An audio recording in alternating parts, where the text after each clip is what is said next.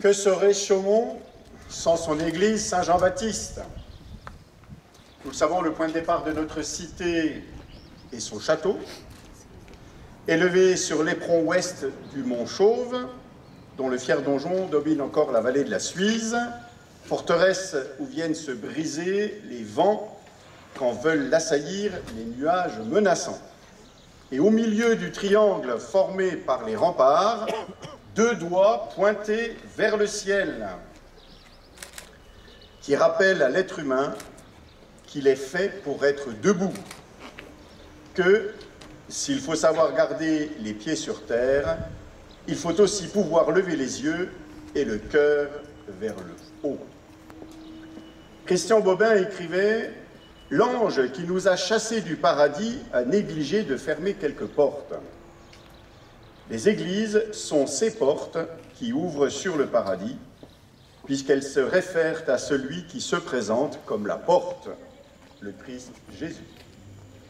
Voilà pourquoi ceux qui les construisent mettent tout leur art à exprimer la beauté et la noblesse qui sont enfouies dans le cœur de l'homme et prennent leur sens dans la beauté divine. Que serait Chaumont sans son église Saint-Jean-Baptiste?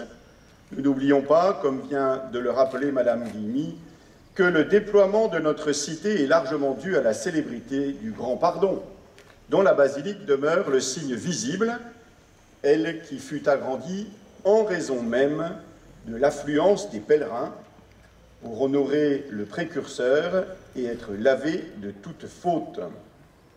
Lieu de prière dans l'obscure intimité qui la caractérise, elle est aussi le lieu où s'expriment les grands moments de la vie, quand les cloches annoncent les liesses nationales ou convoque la communauté chrétienne pour les offices, les baptêmes, les mariages, les funérailles. De même que la cathédrale Notre-Dame demeure dans le cœur des Français l'emblème de leur capitale, de même la basilique demeure pour tout Chaumonté la fierté de sa ville, puisse-t-elle signifier longtemps encore l'élan qui nous entraîne vers l'éternité?